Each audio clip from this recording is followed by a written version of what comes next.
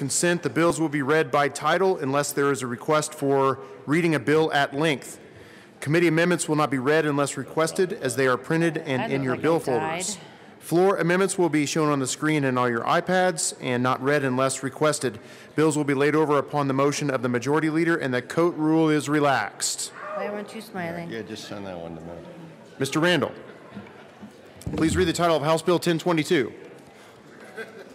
House Bill 1022, by Representative Sias and Kraft Tharp, also Senators John and Elwood, concerning a requirement that the Department of Revenue issue a request for information of an electronic sales and use tax simplification system. The bill last June. Representative Kraft Tharp. 16, 1216.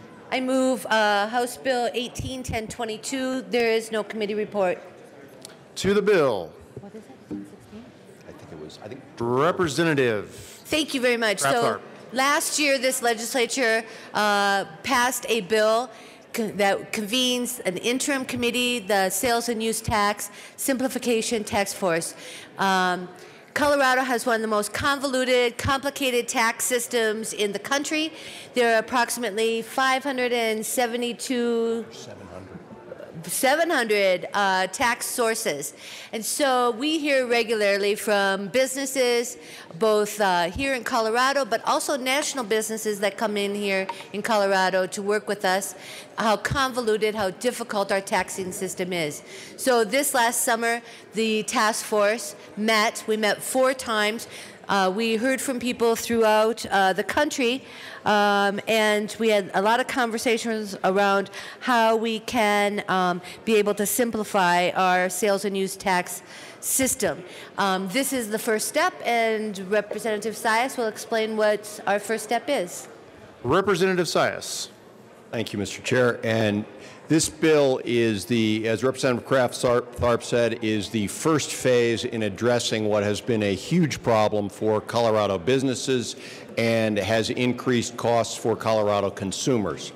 Uh, what this bill will do is create a RFI process under which the Department of Revenue will get together with stakeholders, most of whom have already been involved in the task force process, and come up with a request for uh, essentially a software solution to this problem. And we heard, in, we heard testimony this summer from several representatives from private industry who are already doing this in conjunction with other jurisdictions and their ability to create a software solution that allows us to balance the interests of business in being able to have a one-stop shop for submitting uh, and processing their their sales and use tax, and also the interest of our home rule cities, the municipal league, and so forth, with, with preserving their independence. And I would mention that this bill came out of the interim committee unanimously with the support of the home rule representatives, uh, CML, and industry, and it also came out of the House Business Committee unanimously uh, because it really does reflect a great deal of, of hard work and compromise and a very solid first step forward. So I would ask very much for your all support. Come on, please, come on. And is there any further discussion on House Bill 1022?